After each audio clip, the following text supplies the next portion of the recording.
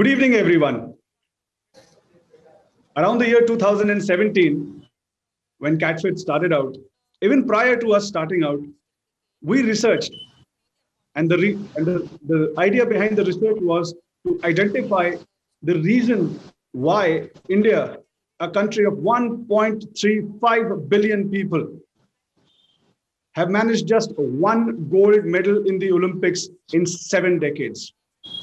Countries not even one tenth the size of our geographical area or our population have managed more than 100 medals, 100 gold medals. We've managed only one.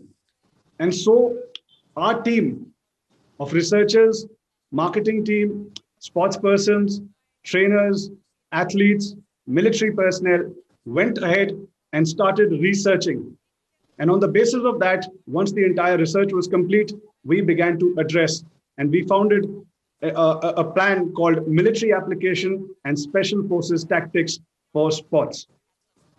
So today, we are going to be talking about the importance of mental toughness in sports. Normally, we talk about physical fitness or nutrition or supplements. But today, two of our young youngest athletes are going to tell you how important mental toughness is. Our first guest today is Arundhati. She's an Indian cricketer. She's represented India twice in World Cups, and she has a long way ahead in her career right now. She's just 23. Welcome to the show, Arundhati. Thank you, sir. It's a pleasure to be here. Wonderful to have you. And Srishti is our second host, second uh, panelist, sorry, for today. She is, she has represented India in the World Championships in badminton and you, I, can tell you a lot about her, but there is one story about her training which I want you to hear from her itself. So, first question regarding mental toughness training and everything else before, before we start. The first question I have for you, Arundhati, is there is a lot of talk about physical fitness. You know, the whole thing is about physical fitness. What have you eaten? What have you done? But now mm. you are someone who, being very young, uh, you represented India twice in the World Cups. So, mm. how important is emotional, mental, psychological fitness for an athlete at the highest level? I think when I started off, until the time I was playing domestic cricket, I didn't know the importance of uh, uh, mental well-being or you know if the the frame of mind that you you should be in as a athlete.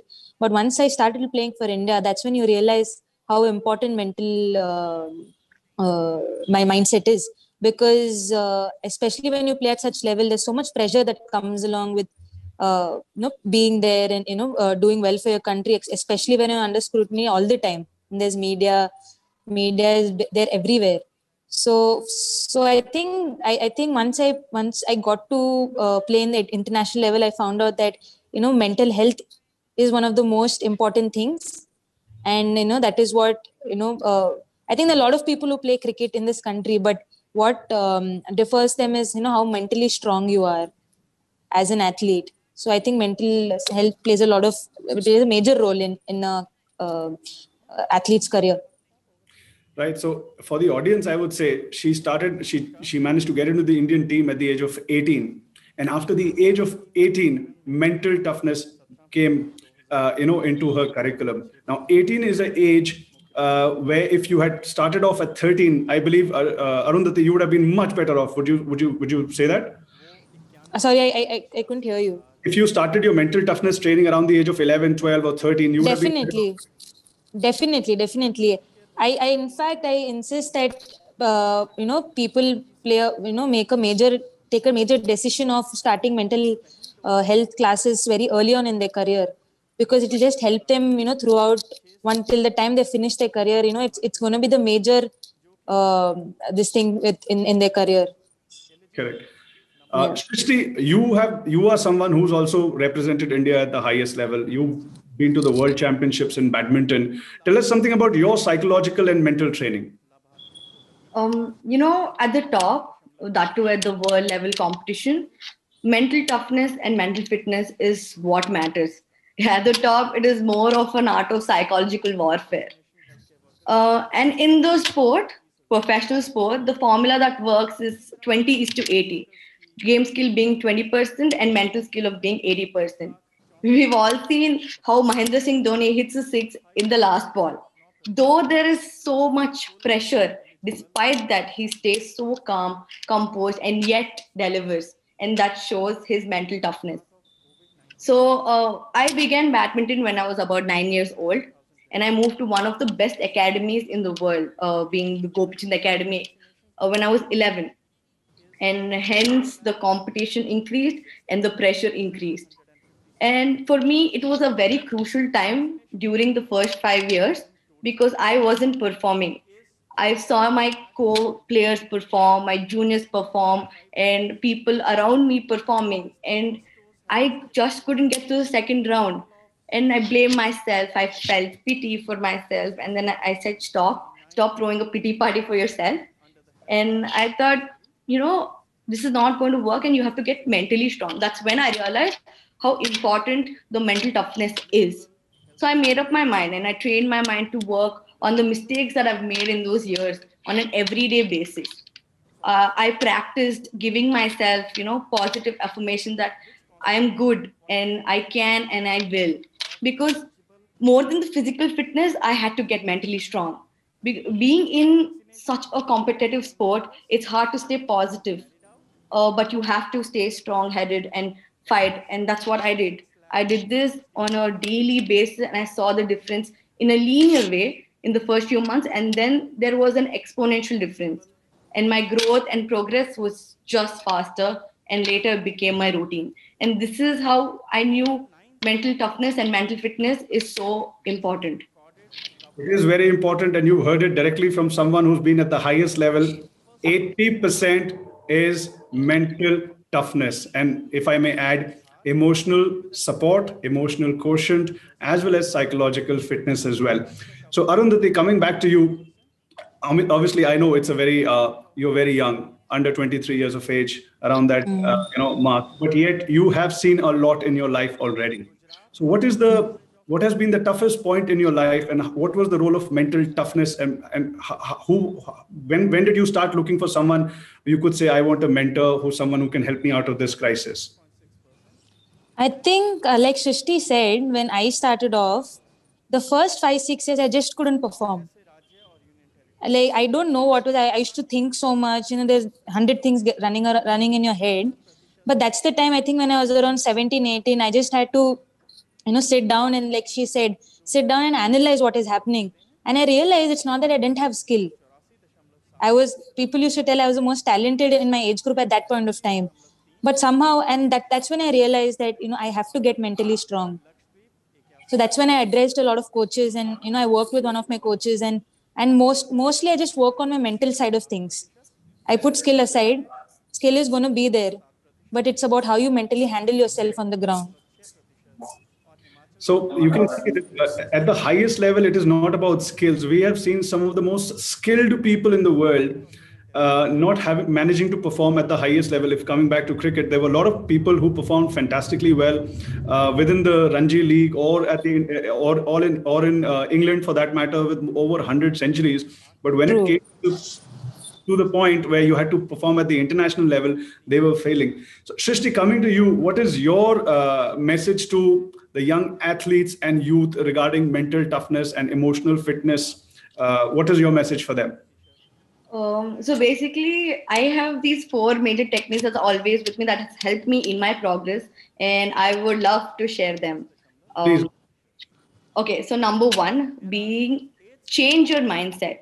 You know, acknowledge the power of mindset and you know that in just a blink of an eye we can change the facet of our life just quite simply by changing our mindset want something believe in that and just do it uh, number two give yourself positive affirmations and tell yourself that will that you will keep fighting and that you won't give up that that keeps you going trust me it has helped me way more than anything else so these positive affirmations are very important. Talk to yourself. Um, and number three is work on your weaknesses specifically on a daily basis. You will see that your growth and progress will be much faster and that will become your daily routine. Make that your habit. And last one being success breeds success. I mean, take every small milestone, small goal as a success, and with each success, your mission gets nearer. Have these small goals that like you know, this tournament I'm going to do this. Uh, for this tournament, I'm going to uh, run this much. I'm going to weigh this much. I'm going to keep my diet intact. Visualizing your targets and set and, and then accomplishing them. Exactly, exactly. So keep them because these four have helped me majorly, and this will keep you going. It'll get through. Wonderful. I think these are four points which, uh, if there are young athletes there watching from any sport, if you can imbibe these things into your uh, games uh, or into your sport and to your regime and training regime, I think you will definitely uh, perform uh, better. For sure, for sure. Uh, so I just wanted to know, like, how does CatFit work on the mental toughness of athletes? So, right, Arundhati, like I was saying in my introduction, uh, when we started out in 2017, early 2017, uh, we realized uh, what Srishti was saying. It's 80% mind and 20% the rest. So what we did was we got a team of uh, psychologists, sports psychologists, mental fitness trainers, and the entire team came together, in, including nutritionists, physical fitness trainers. The whole team came together, and we started out a regime called military application and special forces tactics for sports. Now, within this, what we are doing is first we are giving the sports persons a series of psychological questionnaires. Once this questionnaire has been taken by the, uh, the sports persons, we are able to identify the levels of resilience, how they cope with adversity. Like you were saying earlier, that when you came suddenly for the first five, six days, you were blank. Now, that is what mm. we are trying to fill in at the ages of 11, 12, and 13, so that when the person breaks into the national side at the age of 16, 17, or 18, like yourself, uh, they are not, uh, you know, uh, they can straight walk in and start performing. So the whole concept is see how the mental, emotional, and psychological makeup of a sports person is.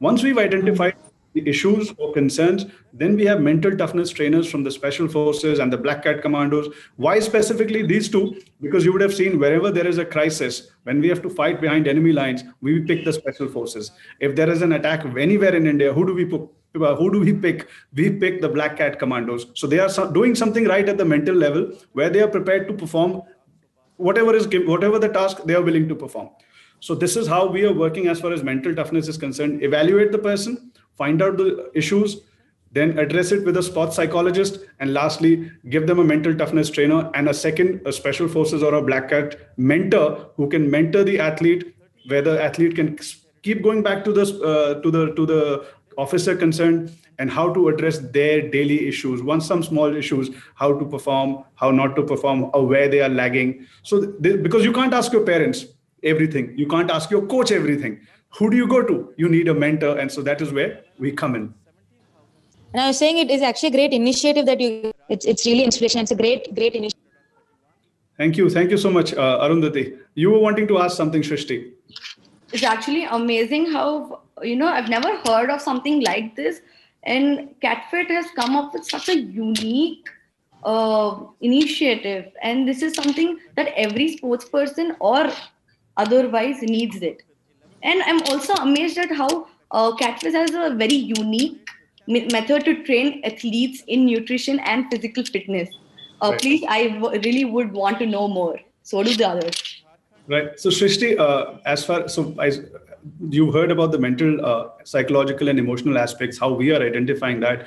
Now, coming to the physical side, I think that is also equally important because your fitness has to be like top of the league to be there amongst the top 11 people in the country, uh, like uh, Arundhati, or the top 10 in the country. You were ranked one earlier in badminton as well. So you know what uh, fitness levels are required. Right. So what we have done is we understood, uh, we have gone a step further wherein before we take an athlete on board to train the athlete, we ask them to go through a blood test. We identify uh, what blood group they have. On the basis of the blood group, we are asking them that this diet is more suitable for you because some blood groups break down food faster than the others. Now, coming to specifically the uh, physical uh, aspects. So, whenever you hear the word Black Cat Commandos, you know that you're going to be put through some regiment regime, which which is going to test your physical abilities right to the you know very core. So, in this apart from your regular gyms and yoga and everything else, we identify every athlete requires a different set of muscles. right? So for every different sport, there's the main muscle and the supporting muscle. The primary ones which are required for that sport, we concentrate more on that. Again, so for example, Arundhati is a cricketer. Her sports regime or her fitness regime cannot be the same as yours. Again, she's a bowler, for example. Then she cannot train like a batsman. She cannot eat like a batsman. They have to be two separate things because you know the physical build is different of an athlete. A batsman may be very short but normally if she's a fast bowler you would be taller you would require stronger shoulders slightly muscular but the batsman would not require that. Right. so we go into the nitty gritties of the uh, physical training. Mm-hmm. coming back to you uh, arundhati uh, you've been playing at the highest level. So uh, you know tell us how you prepare for a game. Why i'm asking you this question is the maximum number of questions that was sent to us that we needed to ask you because you were you were an athlete uh, playing at the highest level. How do you prepare for a game? I think uh, i think we we as an indian team and me personally we put a lot of emphasis on on preparing preparing well for tournaments. Because we know if you're preparing well the job is half done already. So uh, for us it's it's about you know uh, working hard on our skills but I think before a game, it's all it's it's all about mental toughness. It's a and everybody has a different way of dealing with dealing with their uh, mental mindset of things. So for me, it's more about visualization and a uh, lot of meditation, which has actually helped me uh, leaps and bounds in the last couple of years. So uh, you know, I, I, would like I would like everybody, you know, uh, I would just like to suggest that you know I think visualization is something that, that really and a lot of people that I have worked with uh, you know put a lot of emphasis on visualization so it, it's something that has really helped me and I, I, hope that it's going to help the others, you know, uh, mo- moving true. forward. Visualization uh, is is very important. It, in fact, it is one of the key constituents of our training at CATFIT. When we train sports persons, we help them visualize right from day one when they come in uh, into our training program. Visualization is the key. Even the international cricketers we worked with, uh, the main thing that they came back and told us that your visualization techniques were the ones that were instrumental, you know, in our performance at the highest level. Coming to you, uh, Srishti, you know, you are into a lot of social causes, right? Yeah. I, what I want to, how you intend, how do you intend to pass on your learnings, whatever you've learned uh, in your sport uh, from your professional career to the youth? How do you plan that? Because I know I'm aware that you are into a lot of social causes. So how are you passing it over whatever you've learned so far?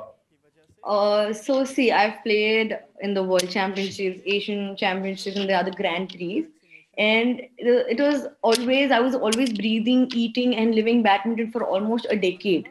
And while we get trained, of course, we get trained in the skill of the game, but in the due course, we learn a wholesome lot. We go through the emotional, psychological, and social strengthening on a daily basis so the sport builds you as a character. It uh, builds character and it uh, the the leadership qualities such as focus, hard work, persistence, pressure management, time management that I will be put that, that I can put to use in my life now is something different. Uh, now I am into the social causes. I've never, though I have a lot of pressure saying you know you have to do this you have to do that. I don't feel that anymore because the kind of pressure i've taken in the sport had taught me so much more than this. And uh, in fact i quit my sport uh, my professional career in the sport when i was was all india top ranker. And i took a con- conscious decision to quit the uh, quit and pursue a leadership path so hopefully in the better future i i hope to impact. you, you will bring a lot of laurels to the organization uh, you will be working with. So another question that i had for you uh, Srishti, was a lot of athletes you know when we train athletes they have this mindset oh i worked out for two three hours. Now i'm all set. I can be india champion world champion. Now i although we've told them many times but it's important that they hear it from you right. as you were saying right now that you've trained for almost a decade take us through your tra- training uh, regime and also the number of hours that you were putting in so that the athletes who are going to be training they know that yes it is not an easy sport just because it is being played in a very small area unlike cricket. Right. Um so the 2 to 3 hours a day I think that is how they get into the sport uh, they get into the sport. But once in line and if their sport matches their interest or if their passion they realize that it needs much more to be a professional athlete. It takes much much more to be even known as an athlete. Uh, so in my case my second home was the sports academy and not our, not my school.